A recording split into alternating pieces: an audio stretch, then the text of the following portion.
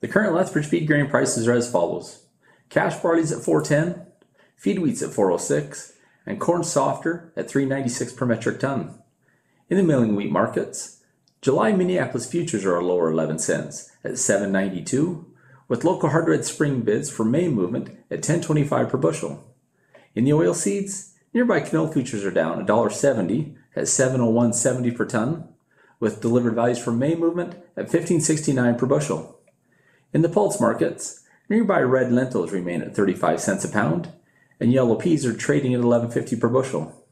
In the cattle markets, June live cattle lost 45 cents at 165.02 per 100 weight.